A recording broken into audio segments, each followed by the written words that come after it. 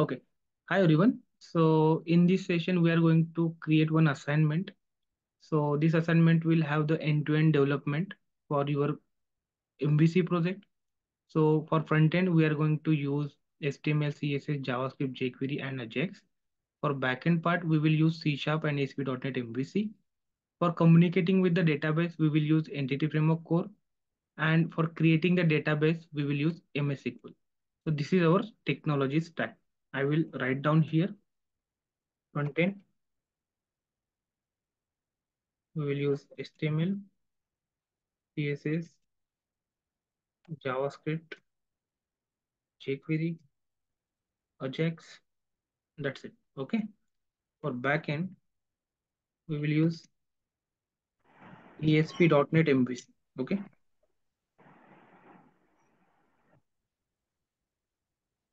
Then also we will use uh, C Sharp as a language. We will use Entity Framework. Entity Framework for database communication. Okay. Then we will use database as a MS SQL.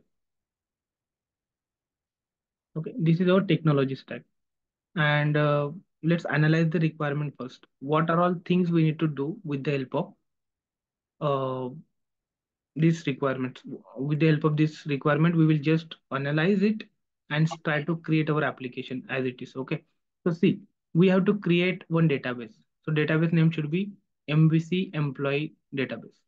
Okay. This will be our database name. Once I create the database, it will have this table. It should have this table. Table name will be employee that table will have ID, first name, last name, employer, email address, phone number, designation ID, ID as a foreign key of the designation table. Okay. Grade ID as a foreign key of the grade table. So it means there are three different tables. One table is the employee, which is our master table. Designation is another master table. And we will have one more table that is designation grade okay three master table having the references with each other. So one employee can have one designation one employee can have one grade definition. Okay because it has a one-to-one -one relationship between employee table and these two tables. Now this is another master table. We'll have the information about your designation. So employee can have the designation like uh, software developer software tester. Also he can have the designation uh, IT admin like that. So that kind of information we will store into this table. Then next one is designation grade. Okay. So you will see some sample data here. So designation can be junior software engineer is active true. Software engineer is active true. Senior software engineer true. So this is your actual designation. Okay. Next one is in the grade table we will have A1 grade for one true. Means one designation can have multiple grades. So the relationship between these two tables are one to many. Got it? So you will have one to many relationship between designation table and designation grade table. Got it? So here you can see why I am telling like this because here we are having designation ID as a reference. And if you notice here, one ID has multiple grades. See, ID 111 has A1, A2, A3. 2 has B1, B2, B3, B4. Okay, 3 has B5. 5 has C1. It means one grade, sorry, one designation has multiple grades, one to many relationship.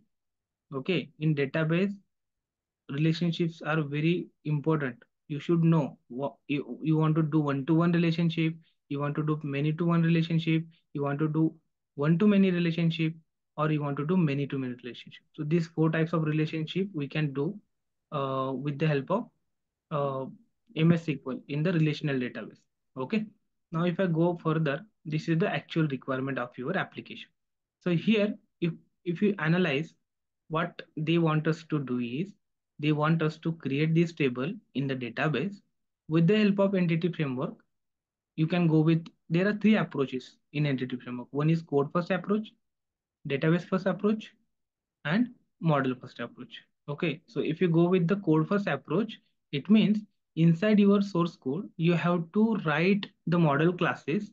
In those model classes, you will have this proper this column name as a properties.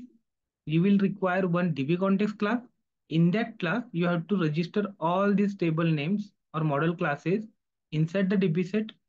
By using the DB context class, you can basically create the database with the help of update database command. So this is all we are going to do. Okay. Right now you won't understand what I'm saying, but when I will do it as a practical, you will definitely understand. Okay. Yeah, going further. So this is your requirement. So as per the requirement, we have to implement the CRUD operation with the employee table. Okay. So you you should have one add employee button in your web page. If you click on that, it will open the add employee form. In that add employee form, you can basically uh, fill the information about your employee. That form should have these many properties. What are all properties? First name, last name, email address, phone number, designation as a drop down, grade as a drop down. In these two drop downs, we need to bind the information which is coming from these two tables, designation and grade. Again, designation and grade has the relationship between them and they should have the cascading functionality. What cascading? If I choose designation as a junior engineer, then in the designation grade drop down, we should have only these three options because junior engineer has ID 1 and for ID 1 we are having only three grades. So this is called as a cascading cascading relationship between your uh, two tables and same you have to basically replicate into the UI. So this is important. Okay. Next one is edit employee form. In edit employee form, you will have, you should have the same number of fields, but whenever I will open that employee form in an edit mode, it will pre-populate the information of the currently selected employee. Got it? So that thing we will just do with the help of edit employee form. And last one is list employee. So list employee is basically one of the page where we will display all the added, newly added employee which are available into your database. We will just show them in the list format, in a grid format. Okay. So let's understand this from the list user can edit and delete record.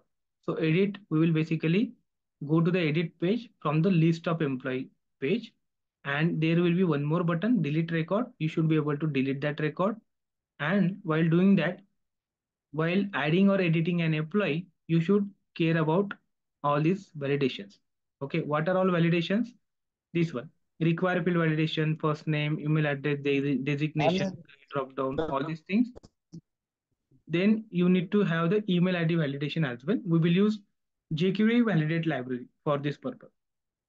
Okay, phone number validation, max length validation. So we can do all these things with that library. I will show you that. Next one is naming convention of controls. So whenever you will give some name to your form controls, it should have proper naming convention. So that way, by looking at your name only, you should you should know which control we are referring to. Okay. So all these things. So I think, I hope you got the understanding about the requirement.